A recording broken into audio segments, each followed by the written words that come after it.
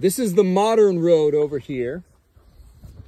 And if I were to go back in ancient times, I would go from Beersheba and I can take different roads, but the, the, it makes the most sense to go through Nachal Beersheba and Nachal Habsor and connect to Chalutza, which was the capital at the time.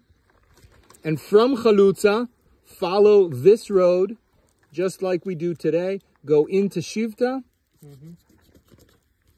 And continue to Nitzana, and continue into the middle of Sinai.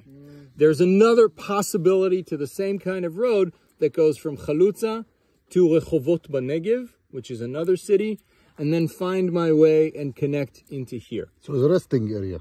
So why is this road so important? Who walks along the road from the center of Israel or Palestine to the center of Sinai? And why would you walk? And why, how is this road so important to allow for Shivta to flourish here? And the reason I say flourish and not survive is because of what we're going to see inside.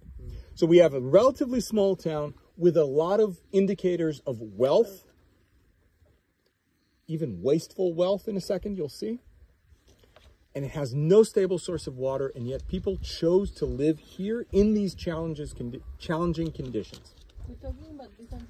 Yes, we are talking about the Byzantine times, and it, it was my assumption that because we already know that we, we know of that and we know Mamshit, Shivta belongs to the same group. Remember, we the the the um, the, the Byzantine Nabatean cities in the Negev, we count six of them. Remember, Mamshit, Ovdat, Shivta, and Nitzana, which we'll see today, and Rechovot Banegev and Chalutza. Okay, so Mamshit, Ovdat, Shivta, Nitzana, Rechovot Banegev, Ruchebe, and Chalutza, Elusa. They are all growing, growing uh, grapes.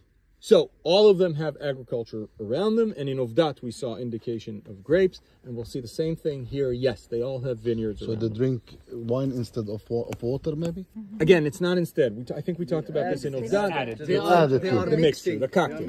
Okay, So, so, so here it was, it was built like fifth century, not not So, like not like Mamshit. the first the first settlement here is from the first century BCE, BCE, Nabatean. and we have a Nabatean Nomadic. rest stop along a trading route. Now, is it the incense route? No, it's not the incense route. It's another trading route. And yet the Nabateans come here and establish some sort of stop, some sort of